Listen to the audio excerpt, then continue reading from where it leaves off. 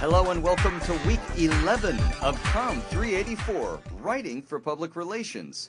In this week's module, we're going to cover feature news releases and hybrid news releases. I hope you're ready.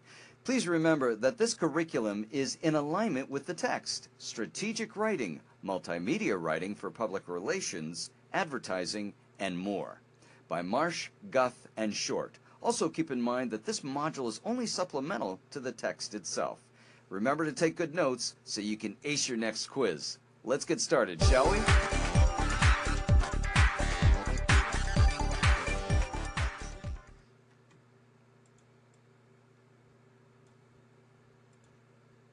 The feature news release focuses on softer, less important, and less immediate news than does the announcement news release. Feature news releases often are human interest stories that highlight some aspect of your organization. Feature news releases are not as common as announcement news releases and traditionally attract less uh, media attention. Always consider whether your feature news release could work as an announcement news release. However, your organization has an interesting story, but it's not a good hard news story. You should consider a feature news release or a pitch.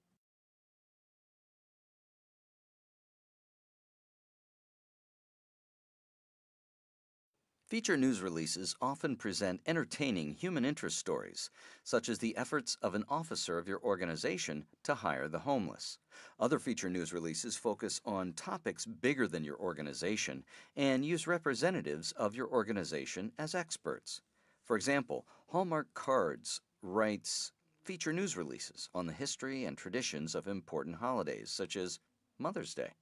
In addressing these interesting topics, the news release uses Hallmark experts and research for evidence, thus bringing credibility to the company and linking it to holiday traditions.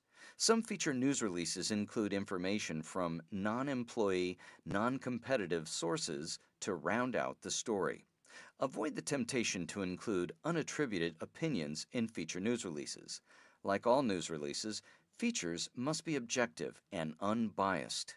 Feature news releases generally begin with a traditional news headline. However, many feature news releases attempt to include clever wordplay, such as a pun in the headline. Feature news releases don't have traditional news leads. Instead, the lead attempts to spark the reader's interest with a question, an anecdote, an image, or a similar device. Feature news releases use storytelling skills, so they're not inverted pyramids as are announcement news releases. The most dramatic paragraph in a feature news release might be the final paragraph. Unlike announcement news releases, feature news releases often use present tense to attribute quotations. For example, says instead of said. Present tense attributions can help create the sense that a story, not just a report, is being told. Check to see which verb tense your target medium tends to use in similar stories.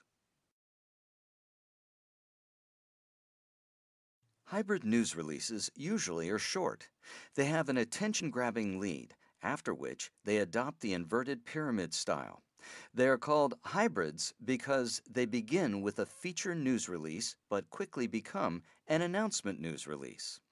The hybrid news release combines the announcement style and the feature style of news releases. It begins with a traditional news headline. The hybrid has a feature like lead designed to attract the reader's attention. Then the hybrid moves to an announcement style, delivering the facts in an inverted pyramid form. Unlike the feature news release, information in a hybrid news release becomes progressively less important. Often, the first sentence after the feature lead begins a new paragraph and specifies who, what, when, and sometimes where. The hybrid news release can be ideal for a hard news story that has a whimsical or human interest angle for example, a student group's sponsorship of a weird pet tricks competition for charity. Congratulations on completing this week's module. Here are some things to remember. 1. Always consider whether your feature news release could work as an announcement news release. However, if your organization has an interesting story, but it's not a good hard news story, you should consider a feature news release or a pitch. 2. Avoid the temptation to include unattributed opinions in feature news releases. Like all news releases, features must be objective and unbiased 3. Feature news releases use storytelling skills. So, they're not inverted pyramids, as are announcement news releases. The most dramatic paragraph in a feature news release might be the final paragraph. Unlike announcement news releases, feature news releases often use present tense to attribute quotations. For example, says instead of said. Present tense attributions can help create the sense that a story, not just a report, is being told. And 4. The hybrid news release can be ideal for a hard news story that has a whimsical or human interest angle. For example, a student group's sponsorship of a Weird Pet Tricks competition for charity. Now, let's see what you can remember from this lesson.